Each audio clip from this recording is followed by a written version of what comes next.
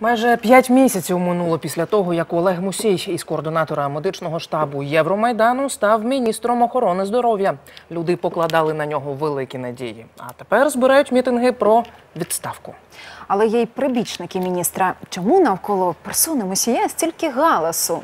Правди шукав наш справедливий Максим Узол. Ми вимагаємо зараз відставки, бо він не виконав вимоги Майдану. Руки від народного міністра! Немає ефективного медичного забезпечення для жодної категорії населення. Не Нормально працювати! Скільки галасу! І все навколо міністра охорони здоров'я Олега Мусія, колишнього координатора медслужби Майдану. Я вже не вперше бачу, як Верховну Раду пікетують люди з портретами посадовця. Щоправда, одні звинувачують, інші затято захищають. Кому ж вигідні всі ці інтриги?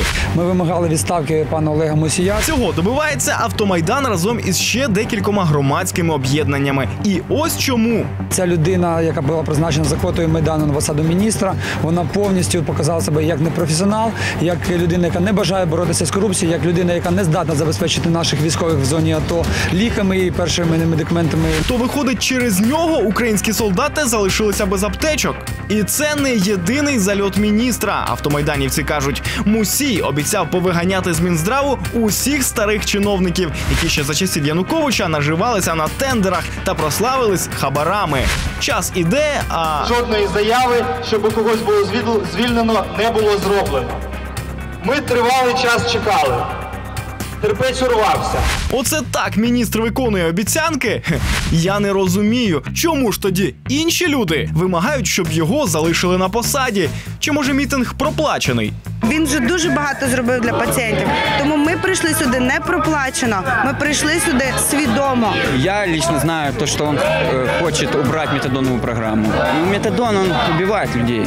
Людей, чтобы помочь, надо отправлять на реабилитацию, а не кормить их другими наркотиками. препараты, которые въезжают в нашу, страни- в нашу страну из-за границы, он тоже делает скидки большие людям, которые нуждаются в этих препаратах. То виходить, міністр таки допомагає хворим. Чому ж тоді з-під нього хочуть вибити крісло? А рада навіть готова у будь-який момент прийняти рішення про звільнення очільника мозу. Я думаю, это потому, что Муси не является представителем ни одной партии. И министр, который делает реальное дело, а не зарабатывает деньги, э, многим не угоден, к сожалению. Чому мусія хочуть позбавити портфеля? Це мені розповів ось цей чоловік. Нейрохірург Андрій Гук майже три місяці пропрацював у медслужбі майдану пліч опліч з нинішнім главою мозу. Тому і зараз в курсі усіх справ очільника міністерства. коли Мусій став міністром охорони здоров'я і порушив це осине гнездо, цю вже проторену е, систему розкрадання державного бюджету.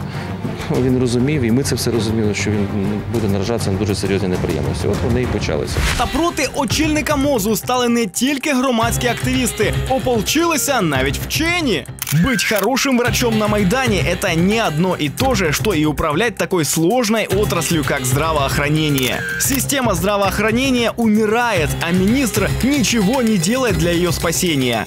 Претензій до міністра назбиралося немало, тому з усім цим багажем йду в Мінздрав. Краще, коли сам міністр відповість на усі обвинувачення. Через зволікання Міністерства охорони здоров'я українські солдати поїхали на схід без необхідних медикаментів. Це взагалі повний нонсенс. Міністерство охорони здоров'я жодним чином і жодного відношення не має і ніколи не мало до забезпечення бійців будь-якими медикаментами. Це питання виключне Міністерства оборони України.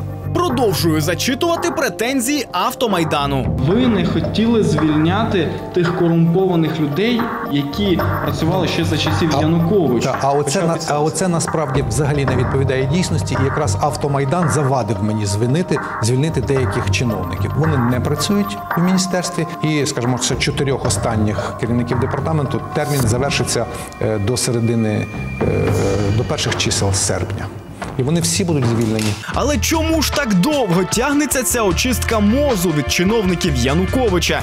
Міністр мені відповів: йому постійно вставляють палки в колеса. Кабмін і той розглядає його пропозиції про звільнення заступника вже майже два тижня. Заважають з різних боків.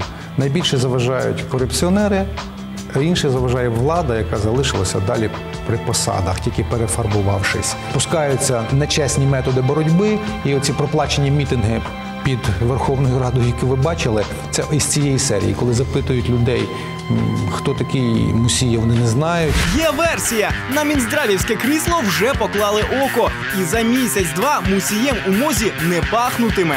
Мусей, возможно, придя туда с самыми благими намерениями, э, ничего без команды не смог сделать. Человек оказался не способен э, справиться с э, ситуацией в этом рассаднике коррупции и злоупотребления, в которое превратился Минздрав за последние годы.